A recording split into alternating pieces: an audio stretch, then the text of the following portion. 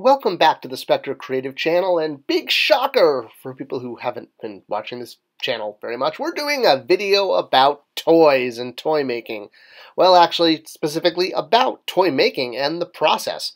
I've done a lot of videos about how toys are made, the different steps, things like tooling, things like uh, figuring out mix ratios, but one thing we haven't really talked about is how objects actually become toys. At what point is something a toy? When is it just, you know, a prototype or a drawing or an idea to the point that it actually physically becomes a toy?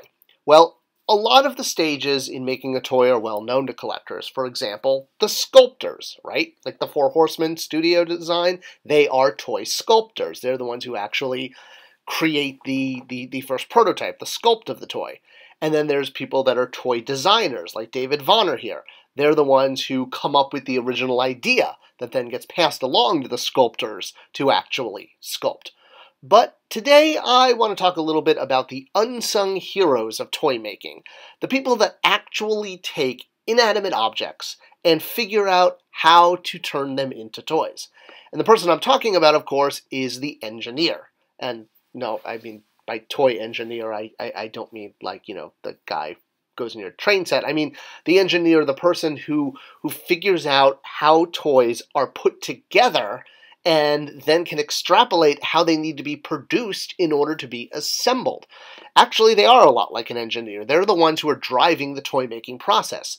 It may not start with them, but it definitely ends with them. And they're the ones who have to take the creative idea that can go from a piece of paper or a 3D model or a clay sculpt and actually turn it into a toy. So let's talk a little bit about that and what it's like being a toy engineer. I've had the privilege to work with quite a few of them. So most toys start something like this, a sculpt. Now I know this looks like an action figure, it looks like something that you should be able to pose, but it's a sculpt. And, well, actually, maybe this is a bad example because it's a sculpt of a toy that doesn't get articulation. All right, let's take a step back. So, when toys are tooled, they have to be broken up into pieces that can be assembled. And it's the toy engineer's job to figure out how the toy gets assembled so that it can be broken up into a tool because you're go- you need the tool pieces that will come together. Someone like Bill Benecke, who's a good friend of mine and a colleague, I got to work with him for many years at Mattel, he's a toy designer. So, what a toy designer is going to do is just literally come up with the idea for the toy. And this could be as simple as a drawing or a doodle or a concept that's pitched using PowerPoint slides. And usually it'll be followed up with something like a B sheet, which calls out the colors, has what's called turns, meaning front, side, and back views of a figure, showing where the action features might be, where the articulation should be. But this is not an articulated toy. This is a drawing of an articulated toy. Now, some designers are also sculptors, usually when it has to do with 3D modeling on a computer. And 3D modeling can be done with a variety of software, and it's usually used to go directly from sculpt to prototype, and it sometimes uh, eliminates steps. But not every toy is done in 3D modeling. There's a lot of toys that are still done by hand. Sometimes when it is 3D modeled, again, the toy designer can play a part in that. But if you need to sculpt a toy by hand, and honestly, the ones that are sculpted by hand tend to have a lot more life. And that's when you actually have to go to a sculptor someone who's talented in doing this, and it's usually not the designer. I'm not knocking digital design at all, but there is something different about actually sculpting a figure piece by piece and essentially having a human hand touch it. It's basically an art form. It's like creating a sculpture. And that's actually really accurate because this is a sculpture of a toy. It's not an articulated toy. It looks like an articulated toy. This is the thing being sculpted, if you will, but you can see he's made of clay and there's no articulation. It's the same with playsets. When the Four Horsemen did Castle Grayskull, it was also sculpted out of clay, just like they sculpt action figures. Uh, granted, it was larger and it took more pieces and it took a lot more time, but just like that Thing action figure we were looking at from uh, Marvel Select, Castle Grayskull here was sculpted by hand out of clay, piece by piece.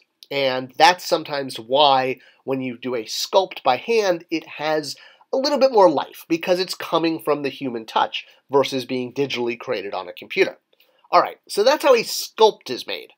But as I noted, sculpts can't move. They're not articulated. They look articulated because they have what are called cuts, which are where the joints would be. But if you tried to move them, they would fall apart because there's nothing holding them together. A perfect example is when we had figures that we would show off at conventions. So apologize for using Mighty Spector again, but you'll see why I'm using him as an example. This looks like he should be articulated, right? He's in a glass case. You can see the cuts on the arms and the legs of where you'd be able to move him. But if you look closely, you will see that he's not articulated. This is a statue of the Mighty Spector.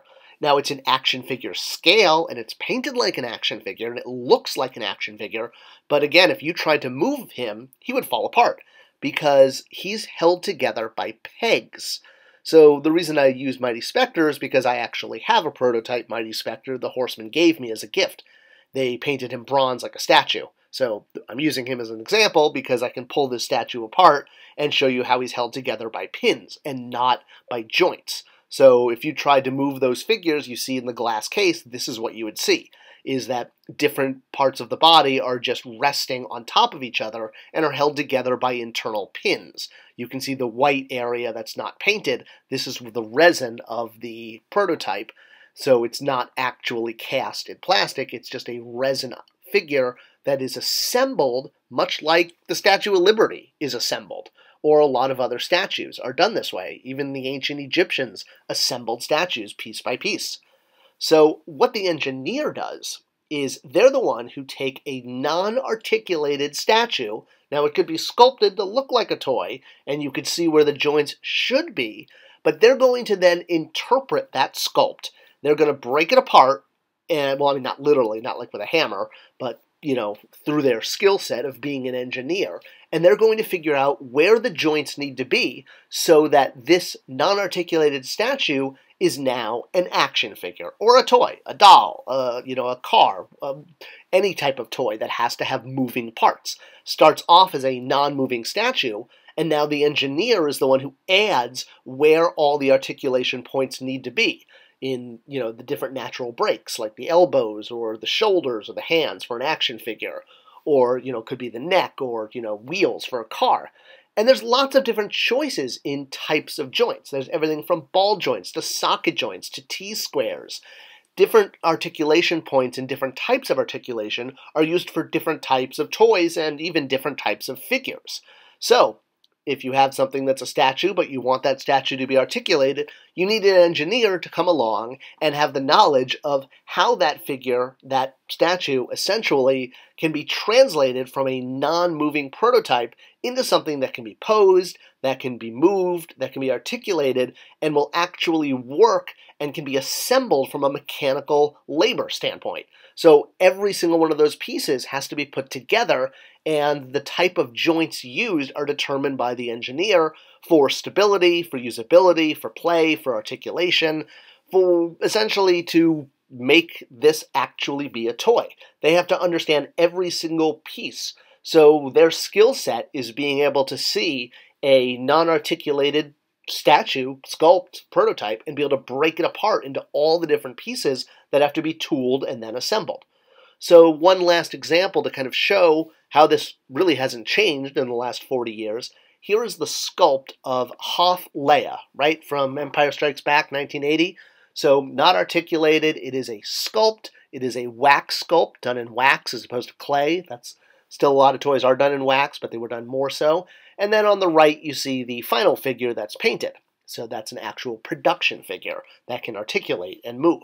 So to understand what the engineer does, essentially that step between the two, between the wax sculpt and the final product, is when the engineer comes along and says, okay, how can we take this body and what type of articulation is needed in order to achieve the play value that is intended by the toy designer?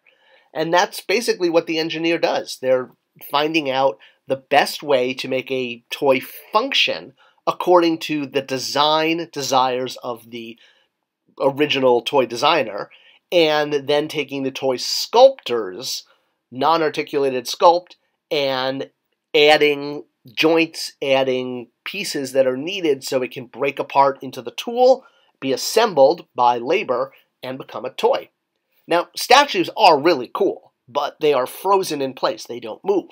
They are in, you know, they're a moment in time, if you will. And this is no different from Michelangelo's David to, you know, buying action figure statues today. But if you want to be able to move the toy and pose it however you want, you can't use a statue. You need an action figure. And that's why toy engineers tend to be the uh, unsung heroes because they are the ones, you know, it's, it's the sculptors and the designers tend to be the celebrities. They're the ones we all know, but it's the engineer that turns them into toys and lets us take that, you know, that Spider-Man figure and pose him exactly how we want, in exactly the environment we want, with exactly other figures around him, and create that moment that we want to display or play with our toy. Without an engineer, we couldn't do this. So appreciate your toy engineer because they are amazing and they are very, very talented, and they tend to be, uh, you know, sort of the underdogs in the toy industry, understanding how to take any object and turn it from concept to plaything or collectible. And that is an amazing skill set. And I have so much respect for all the ones I've worked with. If you like this video, I hope it was insightful and another aspect of toy creation. Share it with others and uh, leave a comment below, a subscription, a bell ring, all that stuff for the algorithm. I comment back for every comment. Thanks for being part of it, and uh, I'll see you in the comment section and in the next video. Thanks for watching.